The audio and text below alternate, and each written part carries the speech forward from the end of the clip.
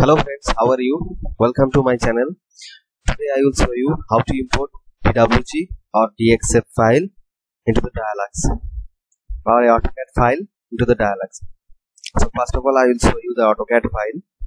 This is the AutoCAD file. This is the room building drawing actually.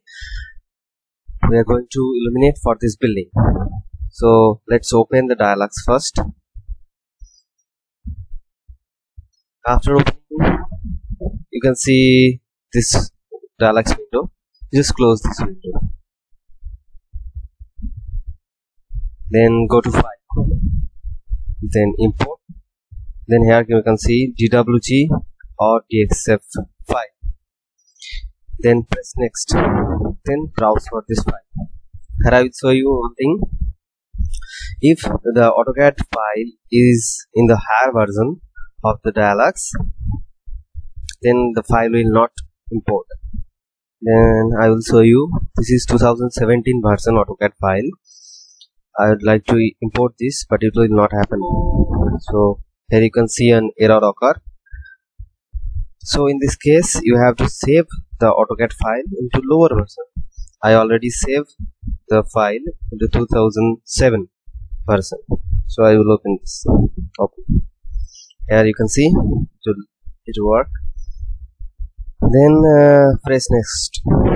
Then here you can see several units meter centimeter foot but I will select meter.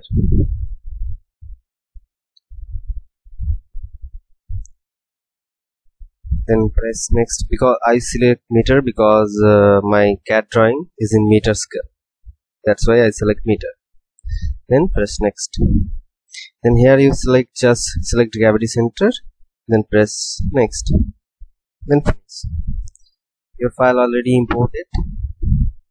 You just insert new room then you can see. So here is the CAD file. Here the room geometry room coordinate are here. You just select each coordinate each point then place it according the room geometry here we saw you for one room. Here toilet lobby balconies are there.